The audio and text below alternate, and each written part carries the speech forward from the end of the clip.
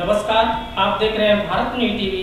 मैं हूँ आपके साथ में गजेंद्र गुर्जर। चलिए शुरुआत करते हैं आज की कुछ खास खबरों की। जनपद संभल थाना बनिया ठेर पुलिस चौकी, नरौली क्षेत्र के ग्राम भाटोल निवासी फूल सिंह पुत्र लीलाधर के तीन बेटे हैं, जो कि पंजाब में मेहनत मजदूरी करके अपने परिवार का पालन पोषण करते हैं। बड़े बेटे संत कुमार की पुत्री को रितेश ग्राम भाटोल में अपने दादा फूल सिंह पुत्र लीलाधर के पास भाटोल में रह रही थी। दिनांक 1 अगस्त 2021 को दिन में कुरितेश अचानक कहीं गायब हो गई। लड़की को इधर उधर काफ़ी तलाशा गया, लेकिन कोई भी जानकारी नहीं मिली। लड़की के दादा ने जानकारी देते हुए बताया कि चंडीगढ़ जीरकपुर में एक लड़का जिसका नाम सुनील कुमार पुत्र राजू पहले से ही शादीशुदा है। जिसकी तीन माह पूर्व शादी हो गई है। निवासी ग्राम चरसौरे मेरी पोती को बहला फुसलाकर ले गया। मैंने अपनी पोती को बहला फुसलाकर ले जाने के संबंध में थाना बनियाठेर व नरौली पुलिस चौकी में लिखित तहरीर दे दी है, लेकिन मेरी कोई भी कार्यवाही नहीं हो रही है। चौकी प्रभारी नरौली योगराज सिंह द्वारा बताया गया है, तहरीर के आधार पर सुनील पुत्र राजू के खिलाफ रिपोर्ट दर्ज कर ली है और गिरफ्तारी के प्रयास किए जा रहे हैं। क्या नाम है आपका? मेरा नाम फूल सिंह अच्छा आपके गाँव का नाम? भाटौल। भाटोल। क्या दिक्कत है बताओ? हमारे साहब पोती को भगा के ले गया। आपकी जो पोती को भगा के ले गया है उसका नाम क्या लड़के का? उसका नाम सुनील है। अच्छा उसके बाप का नाम? राजू। अच्छा उसके गाँव कौन सा? चरसोरे।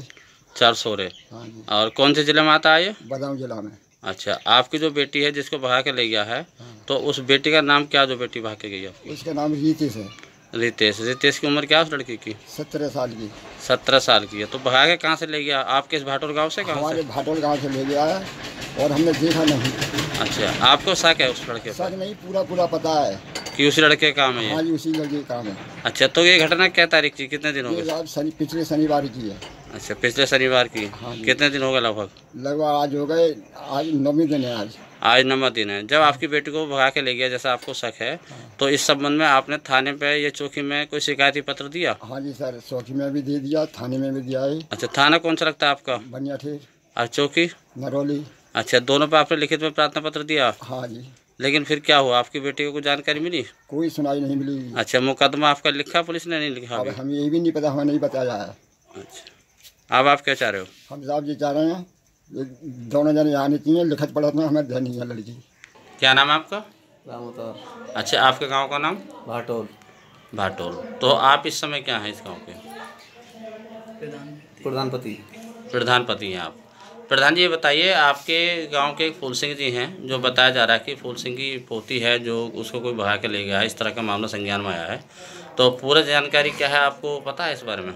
जानकारी ये है कि मतलब फूल सिंह मेरे पास आए थे बोले लड़की यहाँ से बारह एक बजे से गायब है। जी। फूल सिंह ने कहा था मतलब कि मेरे साथ चलो ढूंढ ढान करो। ढूंढ ढानने में ये आई कि मतलब मिली नहीं वो लड़की। अच्छा जब लड़की को काफ़ी तलाश किया गया नई लड़की जो नहीं मिल पाई नहीं तो उस संबंध में क्या थाने में या चौकी में कोई फूल सिंह के द्वारा कोई प्रार्थना पत्र दिया गया? हाँ प्रार्थना पत्र लिखवाया हमने चौकी में रिपोर्ट लिखवाई और उनने कार्रवाई शुरू कर दी। शुरू करने के बाद में बोले हमसे बोले इंचार्ज साहब बोले ठीक है आपकी कार्रवाई चालू है। फिर बदाऊं क्षेत्र में सुनने में आई है उन्होंने बताया कि बदाऊं क्षेत्र में लड़का है इधर का। अच्छा भगा के ले जाने वाला जो है बदायूं क्षेत्र का लड़का बताया जा रहा है। जैसा बताया जा रहा है। इतनी आपको पूरी जानकारी नहीं इसकी हमें। अच्छा जैसा उनके द्वारा बताया गया। हाँ उनके द्वारा फूल सिंह के द्वारा बताया। है अच्छा जैसे फूल सिंह जी का कहना ये है कि मुझे एक सप्ताह हो गया है कि मेरी कोई कार्रवाई नहीं हो रही है। नहीं कार्रवाई चल रही है। चल रही है। इंचार्ज साहब ने कार्रवाई चालू है।